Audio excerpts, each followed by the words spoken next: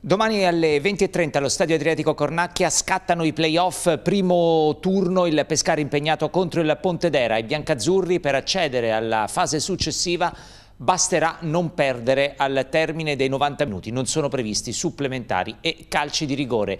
Caso di parità passerebbe il Pescara per la miglior classifica nella stagione regolare. Assente da Gasso, problema muscolare per il resto tutti a disposizione del tecnico Cascione che in mattinata ha parlato in conferenza stampa. Andiamo ad ascoltare con le immagini di Diego Martelli. Eh, la squadra sta bene, dai. sta bene. Dopo la partita di Ancona c'era il rischio di di buttarsi un po' giù moralmente, ma invece hanno capito benissimo che comunque è stata solo una partita sbagliata e a Fermo abbiamo dimostrato comunque di esserci, di, di, continuare eh, su quella strada dell'attenzione, dell'equilibrio e, e, siamo stati bravi anche in fase offensiva perché al di là dei tre gol eh, siamo stati un po' più determinati e concreti, abbiamo accompagnato me meglio l'azione, quindi è venuta fuori poi un'ottima un gara. E quindi bisogna, bisogna continuare così. Eh, settimana, è stata una settimana di grande concentrazione, eh, ho visto ragazzi molto maturi sotto questo aspetto qui perché comunque sanno che domani c'è una partita fondamentale, decisiva e, e l'abbiamo preparata al meglio per quanto riguarda sì, gli infortuni, eh, Matteo eh, ha avuto questo problema e starà fuori eh, per un po' di giorni, quindi non sarà a disposizione per, per domani. E poi il resto sono tutti arruolati, tutti convocati. Sassà viene comunque da due settimane di, di, di, dove ha lavorato poco, dove ha avuto un problemino e quindi eh, valuterò anche questa cosa qui fino alla fine. Mm, come ho detto, si è allenato molto bene, ma ha dimostrato di, st di, st di stare bene fisicamente soprattutto e poi a livello mentale eh, è un giocatore che queste partite le sa affrontare, non c'è bisogno di eh, di dirgli troppe cose, sa benissimo l'importanza, sa avere equilibrio e, e, e, riesce anche comunque a guidare i compagni sotto questo aspetto qui. Quindi, quindi vedremo. Franchini e, e Tungio hanno fatto una grandissima partita, li ho visti, li ho visti molto bene, specialmente Simone che aveva giocato poco fino a, fino a quella partita lì eh, ma ha dimostrato di esserci, di, di, avere comunque anche lui delle qualità anche mentali importanti, eh, deve migliorare magari sotto l'aspetto un po' difensivo, di, di ave, deve avere un po' più di attenzione, però come ho detto, l'ultima partita ha fatto, ha fatto, molto molto bene.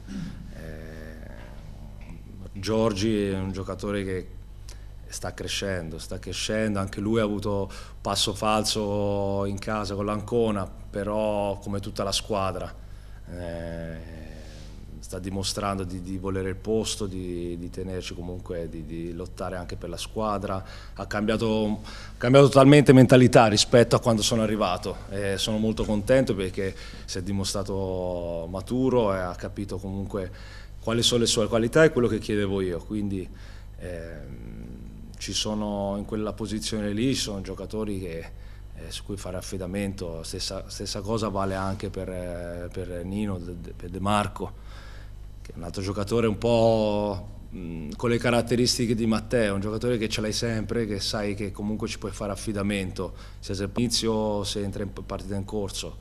Eh, quindi questo è un vantaggio molto molto importante anche perché ha delle caratteristiche diverse rispetto a, agli altri tre, escluso Matteo che non, non sarà a disposizione. Davanti voglio, voglio, capire bene, devo parlare anche domani con, eh, con Gigi, eh, capire se comunque un giorno in più eh, riesce a farlo stare un po' più a livello mentale, un po' più tranquillo.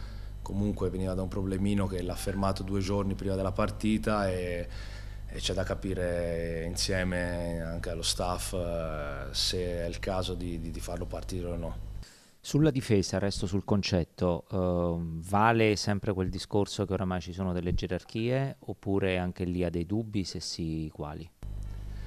Ma io adesso eh, in queste partite, come avete visto, mh, i due centrali non l'ho mai cambiati perché comunque eh, stanno, stanno dando grande affidamento, stanno facendo molto bene eh, riescono comunque anche tra di loro a, a, ad aiutarsi, a parlare. Eh, sì, ho fatto un cambio ad Olbia con eh, dato la possibilità anche a Roberto di, di, giocare, poi dopo ha giocato anche quella dopo, ha fatto molto molto bene, eh, però non voglio dire ho una formazione fissa, ok? normale che se chi gioca eh, gioca bene, sta bene fisicamente, mentalmente, non vedo il motivo per eh, il quale cambiare, non, si, si, va avanti in quel modo lì. Poi ci sono giocatori che durante la settimana mi dimostrano che possono comunque far parte degli 11 titolari, ma questo, questo è un altro discorso. L'importante è che ci sia da parte di tutti un, eh, un obiettivo comune, stessa, lo stesso filo di pensiero. In questo momento eh, quello che mi interessa, come ho fatto le altre partite, è vincere la prossima, fare bene la prossima fare bene con la squadra perché ne gioviamo tutti poi alla fine, giova la società, la, la piazza, le giovo io, quindi eh, bisogna lavorare bene per il momento, per la partita che arriva. Stop. Poi, ed è questo che, quello che stiamo facendo.